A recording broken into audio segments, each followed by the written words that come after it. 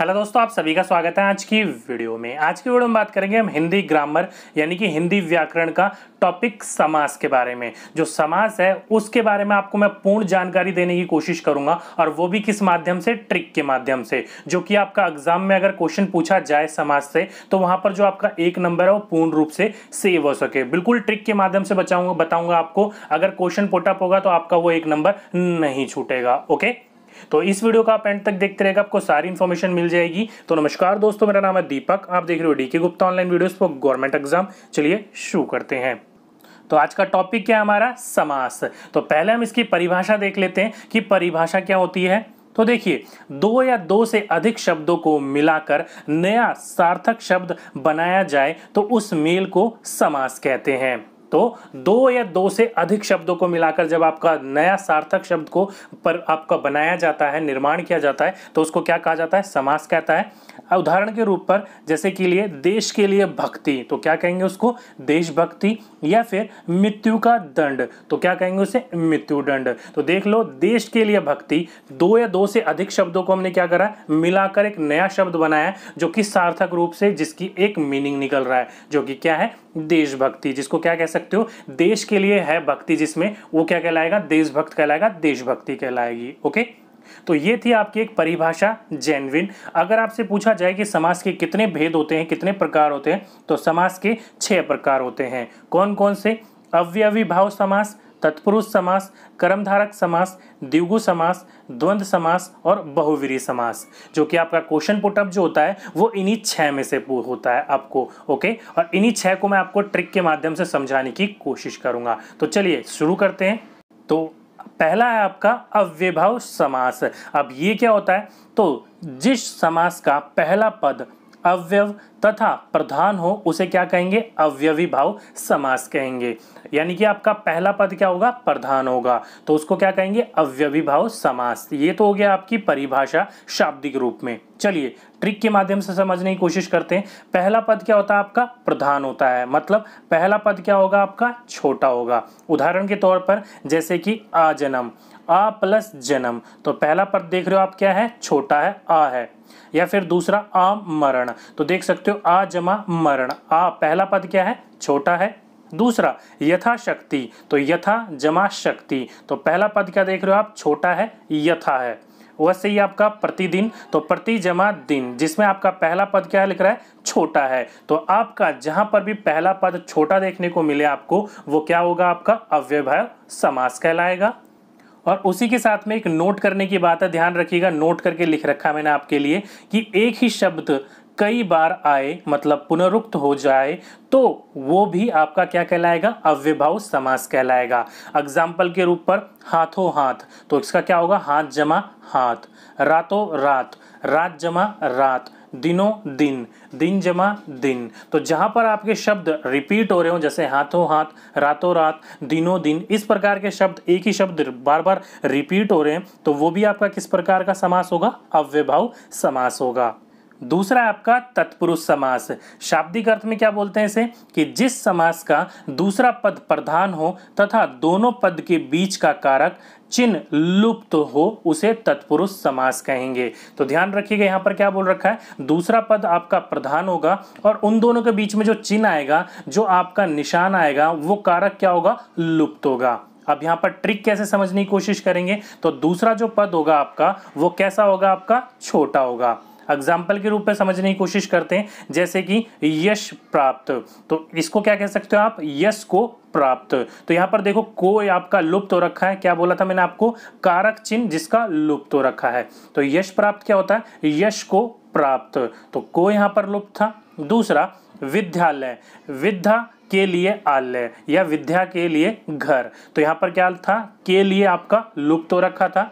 या फिर राजकुमार, राजा का कुमार मतलब राजा का बेटा। तो का क्या था यहाँ पर? आपका लुप्त था। तो जहाँ पर आपका कारक चिन्ह लुप्त हो, वो क्या कहलाएगा आपका? तत्पुरुष समास कहलाएगा। और तत्पुरुष समास के कितने भेद होते हैं? तो तत्पुरुष समास के छह भेद होते हैं।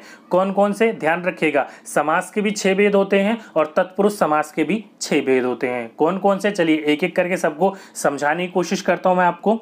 पहला आपका कर्म तत्पुरुष, जो कि क्या होता है आपको? देखिए, याद करने की जो ट्रिक है, वो मैं आपको बताऊँगा कि क्रम, आपका जो क्रम तत्पुरुष होगा, उसमें को का लोप होगा। तो जहाँ पर आपका को का लोप हो, वो क्या कहलाएगा आपका? कर्म तत्पुरुष कहलाएगा। फॉर एग्ज़ाम्पल जैसे कि मैंने आपको बताया था, यश प्राप्त। तो किसको प्राप्त था? यश को प्राप्त था। तो वो भी तत्पुरुष समास में आपका कर्म तत्पुरुष का एग्ज़ाम्पल था ओके वैसे ही दूसरा कर्ण तत्पुरुष, जिसमें आपका से या के द्वारा का लोप होगा।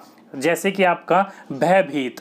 भयभीत क्या होगा? अगर आप इसको खोलोगे तो भय से भीत। क्या हो रहा है आपका? से। से लुप्त तो था यहाँ पर। अगर आप इसी को चेंज करोगे, भय को भीत। तो भय को भीत जमा सही वर्ड बना? नहीं। भय से भीत, यानी कि डर के मारे वो क्या कर रहा था? वो आपका घबरा रहा था। इसलिए जो आपका लुप्त होगा, जो आपका वहाँ पर चिन्ह लुप्त होगा, उसी में वो फिट होगा। किसी और में आप फिट करके बैठ बैठा के देख लो इसको, आप नहीं बिठा सकते। वहाँ पर चार ऑप्शन होंगे, चारों ऑप्शन के आपके जो लुप्त होंगे, वो आप एक बार बिठा के देख लीजिएगा ओके अगला देख लेते हैं। तुलसी कृत अब इसमें क्या होगा? तुलसी द्वारा कृत या तुलसी के द्वारा कृत। तो यहाँ पर क्या था? के द्वारा आपका लुप्त था। और कोई सा बिठा के देख लो, तुलसी को कृत नहीं बैठेगा। ये क्या मतलब हुआ? तुलसी के द्वारा रचित होता है और तुलसी के द्वारा बनाया हुआ। तो तुलसी द्वारा कृत। तो इसको क्या कहते हैं? कर्ण तत्पुरुष कहा जाता है। तीसरा, संप्रदान तत्पुरुष, जिसमें आपका के लिए का लोप होगा। जैसे कि मैंने आपको विद्यालय बताया था, जैसे कि विद्या के लिए आलय या घर। तो के लिए क्या आता आपका? लोप हो रहा है यहाँ पर। तो किसका एग्ज़ाम्पल होगा आपका? आपका संप्रदान तत्पुरुष का होगा।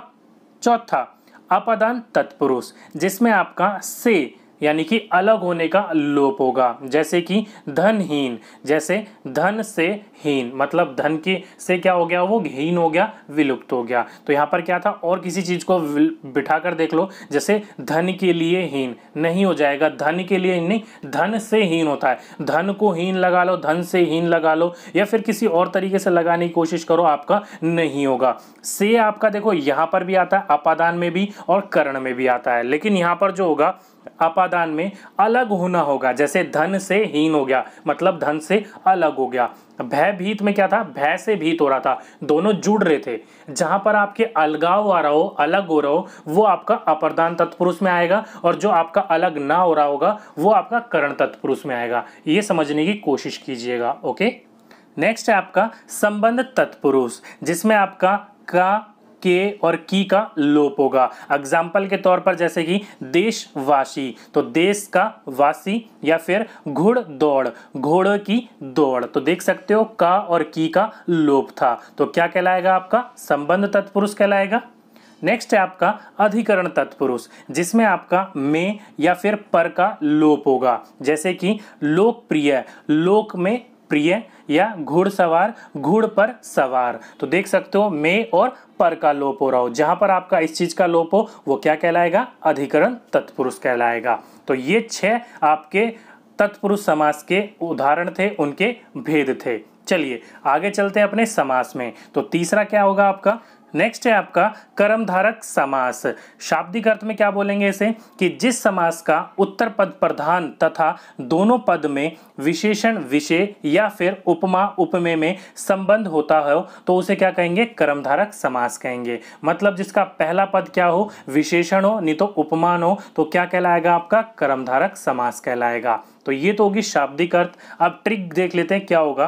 तो देखिए, विग्रह करने पर मतलब उसको तोड़ने पर माध्य में मतलब बीच में है जो या के समान अगर आता है तो क्या कहलाएगा आपका? कर्मधारक समास कहलाएगा। फॉर एग्ज़ाम्पल के रूप पर, नील कमल। अगर आप इसको तोड़ोगे तो क्या कहलाएगा? नीला है जो कमल, उसको क्या कहते हैं? नील कमल कहते हैं। या फिर चरण कमल।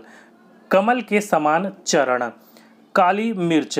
काली है जो मिर्च, नर सिंह सिंह के समान नर। तो देख सकते हो आप, है जो, के समान, है जो या के समान, इन दोनों आते ही आते हैं आपके। अगर विग्रह करने पर, तोड़ने पर आपका है जो या के समान आएँगे तो कर्मधारक समास कहलाएगा। नेक्स्ट है आपका दिगु समास। द्विगु समास में क्या होता है? तो जिस समास का पहला पद संख्यावाचक हो तो द्विगु समास होता है आपका।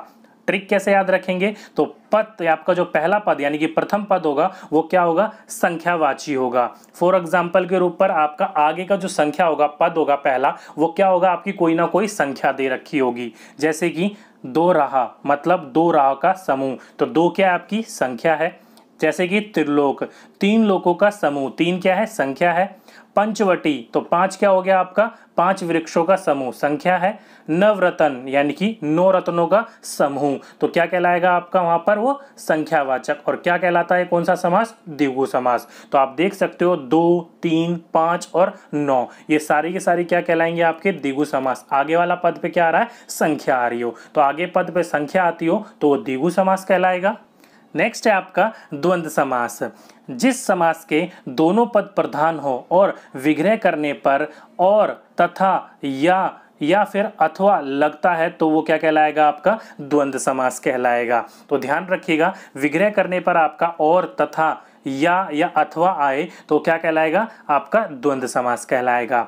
अब इसकी ट्रिक क्या है? तो ध्यान रखिएगा, दोनों शब्द एक दूसरे के विपरीत होते हैं, उल्टे होते हैं। आपको बस इतना ध्यान रखना है। या फिर इन दोनों चिन्हों के बीच में, उल्टों के साथ साथ बीच में क्या आएगा आपका? योजक चिन्ह भी आएगा। योजक चिन्ह जो होता है, वो कभी कभी नहीं आता है, लेकिन एक दूसरे के विपरीत ज़रूर होते हैं।